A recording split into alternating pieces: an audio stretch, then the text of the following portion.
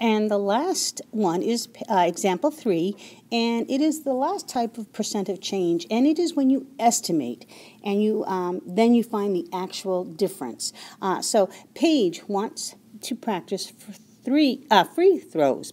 She estimates the th- free throw line to, to the hoop at 13 and a half feet.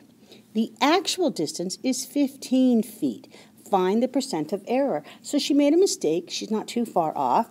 And so you're going to subtract the difference. So 15 minus 13.5 feet.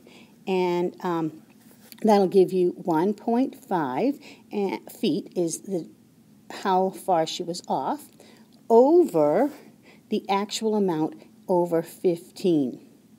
Uh, so uh, you don't really need the uh, labels. So it's 1.5 divided by 15, and I'm going to stop, drop, divide, and I get 15 doesn't go in here, 15 goes in here one time, and so it is 0.1, but we want a percent, so we're going to move it over, and we get 10 percent because I want the answer to be in a percent.